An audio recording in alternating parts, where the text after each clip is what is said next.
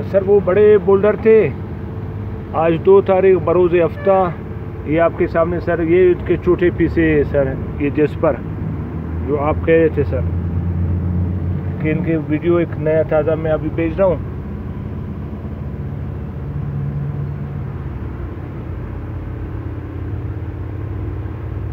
ये तकरीबन, सर, ये टोटल जो पड़े हुए तकरीबन 10 से 11 टन है इन तो ये वही जैसे पहले भी मैंने कहा था 11 टन है हो सकता है बारह भी बने तो आपके सामने सर ये माल सारा पड़ा हुआ है यहाँ पे रखा हुआ है। इसका वीडियो सर पहले भी मैंने आपको भेजा था।